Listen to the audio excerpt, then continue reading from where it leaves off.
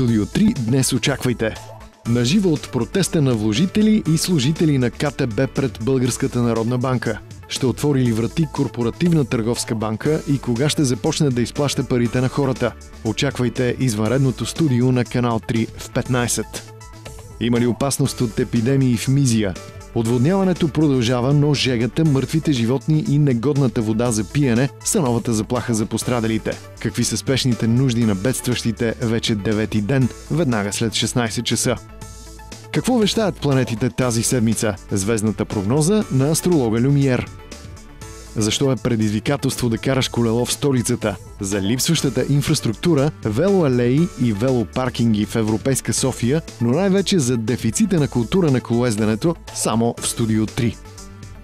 Защо отказват лечение нападналия в фонтана на Националния дворец на културата Кристиян? И колко пари са необходими за рехабилитация на момчето? Защо за пореден път близки на пострадали разчитат на дарителство от хората?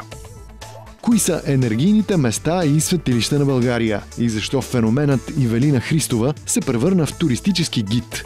Отговорът веднага след 17.30. Темите в предаването коментирайте и в страницата ни във Facebook. Студио 3. Всеки делник, точно в 4 по канал 3.